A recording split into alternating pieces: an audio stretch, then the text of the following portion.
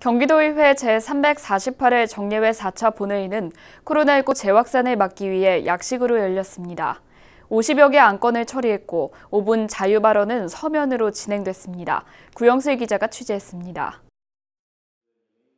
제348회 정례회 4차 본회의가 열렸습니다. 이번 본회의 안건 심의는 코로나19 재확산을 막기 위해 전자회의 시스템을 활용하고 약식으로 진행했습니다. 경기도의회는 자치분권이라는 새로운 시대를 선도하며 지방자치의 모범으로서 우뚝 설 수 있도록 최선의 노력을 다하겠습니다. 이날 상정한 건은 총 50여 건. 경기도 체육회 관련 각종 의혹에 관한 행정사무조사 발의의 건에 대한 제안 설명이 이루어졌고 각종 의혹을 철저히 규명하여 위법행위나 잘못된 관행이 있다면 바로잡고 경기도 체육회 관련 각종 의혹에 관한 행정사무조사 특별위원회를 구성 운영하고자 본 행정사무조사의 건을 발의하게 되었습니다.